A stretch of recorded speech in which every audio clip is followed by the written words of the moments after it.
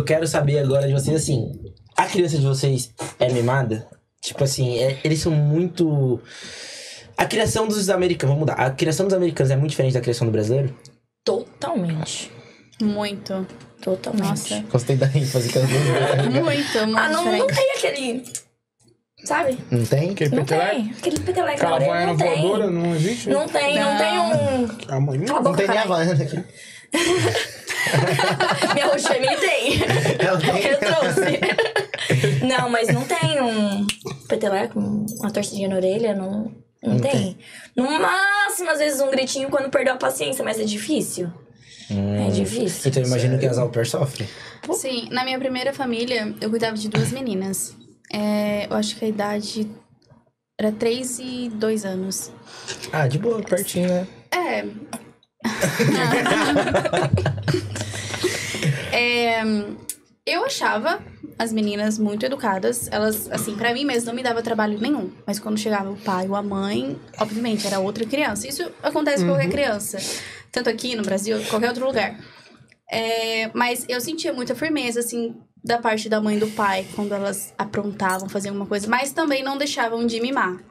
Tipo, se a criança tava é, faltando com respeito, gritando na cara, tipo, querendo Não faz bater. isso. Ai, você precisa de um abraço pra você se acalmar. Você precisa de um beijo, tipo. É igual a mamãe. Mamãe fazia isso. É, fazia. é, era basicamente assim, sabe? Às vezes colocava, tipo, de castigo por um minuto. Aí você se acalmou, você quer um abraço agora.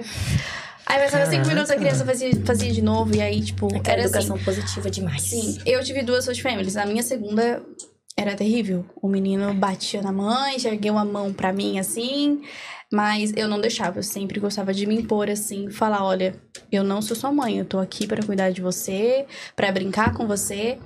É, e uma coisa que eu uso muito com, com as crianças que eu cuidava também. Nossa, eu tô olhando só pra ele, né? Tem que olhar aqui. Não, vai, vai que vai. Eu tô olhando pra você. Caraca, o Gui foi esquecido conversa. É, uma coisa que eu gosto de fazer bastante é eu gosto de escutar o que a criança tem pra falar. O porquê que você tá chorando? Eu escuto. Obviamente, nunca vai ter o motivo exato, né? Mas eu sempre gosto de me abaixar na mesma altura que a criança. Eu nunca gosto de estar superior a ela, sabe? Eu sempre gosto de mostrar Nossa. respeito. Sim. Tipo, me abaixo na altura, converso em tom baixo, sem gritar. Porque eu acredito muito, se você grita muito com a criança, ela vai gritar mais ainda. Exato, Entendeu? ela vai entender Então, que tipo assim, vai, é- vai virar uma bola assim de neve, vai faltar com respeito ambos, assim, e não vai resolver nada. Então sempre funcionou muito isso comigo, com as meninas principalmente. Eu sentava com elas, eu abaixava, conversava, o que, que você quer, o que você precisa, por que você tá chorando. Eu sempre, sempre funcionou pra mim. Tipo, eu tenho quatro sobrinhos. Sempre tratei, tipo, os quatro desse jeito, sempre funcionou. E foi um destaque na hora de eu escolher família também, porque eles perguntam isso, né? Ai, se a criança estiver é, fazendo alguma birra, como que você lida com isso? É, o que, que você fala pra criança?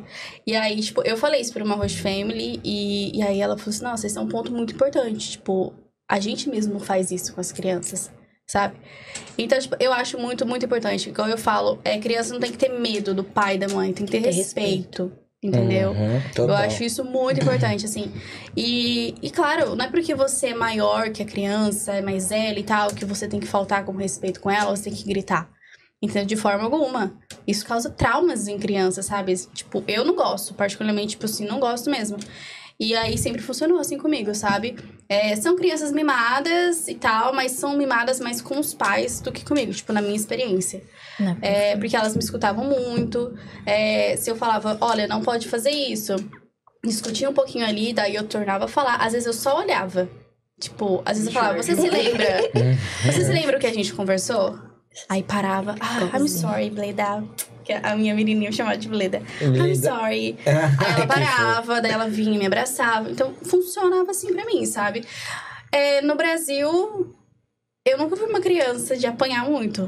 Eu sempre fui muito quietinha, assim, e tal. Essa era arteira? Não, não era. Eu sempre Não, fui tem um muito bom quietinha, assim. motivo. É, Por isso. Mas eu tenho quatro sobrinhos, Terrorista. Terríveis. nossa, terríveis, assim. É... Ai, desculpa, Deus, terríveis não. A gente entendeu, a gente entendeu. Sapequinhas, sapequinhas. É, é... Hoje mesmo, tipo, eu tive uma conversa com um dos meus sobrinhos e e eu conversei e tal, assim, eles me escutam muito. E é o que eu falo bastante, sabe? Existe criança mimada assim, mas você tem que saber lidar com a criança. Você não pode também deixar a criança bater em você, pisar em você, falar o que não deve, entendeu? Então, assim, na minha experiência como au pair com as minhas crianças, funcionava. Até com o último. Às vezes, assim, eu sentava com ele e falava assim: pera lá, não tá legal isso que você tá fazendo. Você gostaria que fizesse isso com você? Enfim, isso funcionava pra mim. Assim, foi, tipo assim, a minha experiência e, e funcionou, sabe? Até, ela meteu uma ênfase, até com o último, eu quero perguntar. o que aconteceu com esse último? Mas vamos seguir pra você. Como que você achou? Então, eu cuido de uma de dois anos e três meses agora. Então, quando eu cheguei, ela não falava nada. Ela, tipo, só chorava pra tudo. E hoje, eu sigo muito o que a Brenda fala também. É essa questão de olhar no olho, conversar de igual pra igual, sabe? A, a criança precisa entender que você é o adulto da situação, mas que ela não é inferior a você. Entende? Então isso funciona muito. Então, desde sempre, minha criança tá chorando, eu pego ela, coloco, coloco no, no balcão da cozinha pra ficar de olho olho pra mim, porque eu sou baixinha também, né? Então ela fica de olho olho pra mim e conversa. Fala, usa suas palavras. O que que está acontecendo? Aí ela já. Nem eu sei o que tá acontecendo, sabe? Ela fica olhando assim, mas nem eu sei por que, que ela tá chorando. Geralmente elas nunca sabem o que tá Não, acontecendo, é, por que tá é chorando. besteira. Eu falei, então por que você tá chorando? Eu falo mesmo, tipo, Ah. conversa de igual pra igual, por que você tá chorando? Não tô entendendo por que você tá chorando. E hoje. Mas tem que ser muito paciente, velho. Muito. Muito, Nossa. muito. É um exercício Eu não sei- diário de paciência. Eu não seria como que é que é? Bro pair que existe, né? É, pair. Bro pair. Eu nunca seria bro pair. É por isso que fala que. Por isso que não tem tanto, né? É, isso é verdade. Pra você ser au pair, não é só você vir pra cá e viver um mundinho americano. Exato. Viver a experiência americana. Você tem que vir aqui é, gostando de criança. Isso é muito real. Você não pode vir aqui. Eu conheço muita gente que. Ai, eu só vim porque daí depois eu já saio e pronto, eu nem gosto de criança. Acho não é assim. péssimo. É muito péssimo. feio, Gente, sabe? 80% daqui é trabalho. Exato, é uma Você criança tá também, vindo pra sabe? cuidar de criança. É filho de, o- de uma outra pessoa. Já é foda pra caramba você vir pra outro país e você morar com a Hot Family e você lidar com tudo isso. Tipo, você tem que ter paciência, você tem que gostar, você tem que ter amor pra cuidar de Tem, uma criança. tem que ter. muita paciência. Entender que é, é- esse é trampo. É né? uma criança. É uma cultura diferente é. também. Nossa, E é muito- verdade. muita menina, me desculpa, mas muita menina acaba sendo muito imatura. Muito. E agindo como criança com crianças. Por que veio então? Qual que, era, qual que era o range de idade mesmo que vocês tinham falado? Pra pair? 18, De 18 a 26 E 11 meses. É, se vocês for parar pra pensar, tipo, 18 anos ainda. tá, muito tipo, imaturo. É muito imaturo ainda, pra Sim. cuidar de É uma muito. criança. Hoje, olha, eu conheço au pair desde os meus 15, 16 anos. Hoje eu dou graças a Deus que eu vim com 26. Se eu tivesse não entrado na faculdade vindo com 18, minha experiência ia ser totalmente diferente. É. Totalmente. Não pode mentir também sobre ter experiência, porque, um exemplo, você pega e vai lá, tenta comprovar de todos os jeitos, porque você tem que comprovar. Quantas horas são mesmo?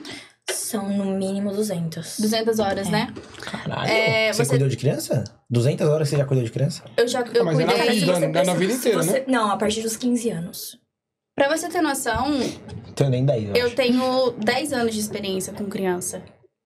Então, tipo, isso contou bastante pra mim. É. Nossa, fugiu o que eu ia falar.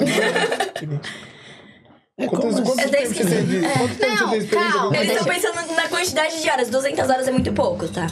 É muito É pouco. pouco. Eu, te, eu vim com 500 horas com criança. Dá, É, tipo, o meu meses. é porque assim.